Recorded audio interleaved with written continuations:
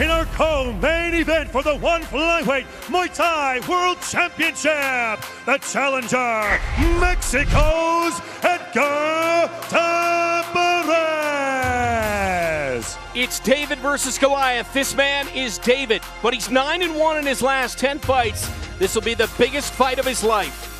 134 pounds for Edgar Tabares. A high volume striker from Mexico will be fighting on Cinco de Mayo, which obviously is going to be special for he and his country tomorrow night. And now, please welcome the reigning and defending undisputed one flyweight Muay Thai champion of the world from Thailand, the Iron Man, Rodtang.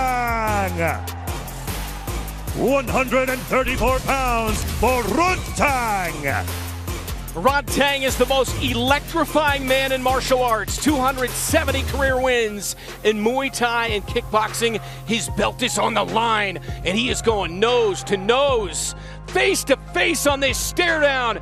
Edgar Tabares is not going to back down against this living legend with 270 wins. The 25 year old Rodtang with his belt in tow. It goes down in Denver, Colorado, in the co-main. Once again, here's Mitch Chilson. I'm here with the challenger, Edgar Tabares.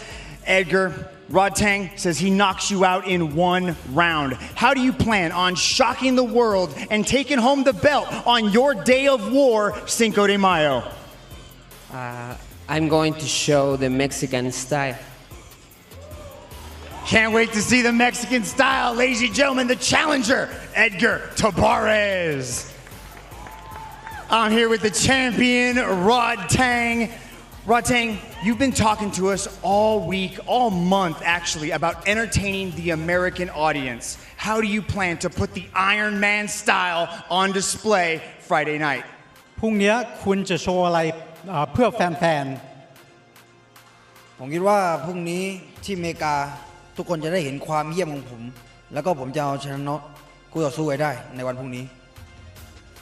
Tomorrow you're going to see everything that I have and I'm going to knock him out for sure.